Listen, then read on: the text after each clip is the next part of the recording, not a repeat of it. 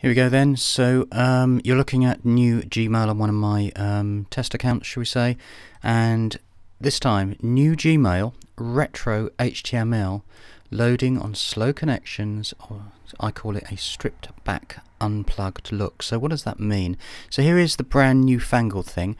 Now watch this very carefully because what we're going to do for your ease and to see is just uh, shove this up to 200% and then and I'll show you why. Watch bottom left of the screen when I click refresh. Here we go.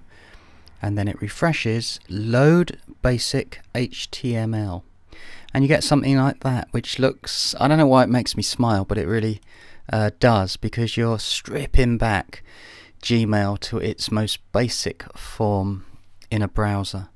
The point of it is, is that if you are in a coffee shop or somewhere on a mega slow connection, newfangled email may not open. And so therefore you can have a look back in time, or should we say in the basic version like this. There are some lovely things here. When you hit search email, that's not right.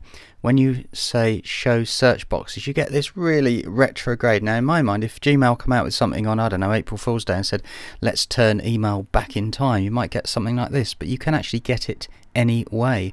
So let me just show you the uh, help page, which is See Gmail in standard or basic HTML version, standard basic. Uh, the important part down the bottom here are there a couple of um, links. One of them is switch back uh, from basic and the other one is switch from standard to basic. In other words, they go round the other way. And the reason I say that is because um, one of the links that I can put in the box in description is this one here which uh, loads one or the other.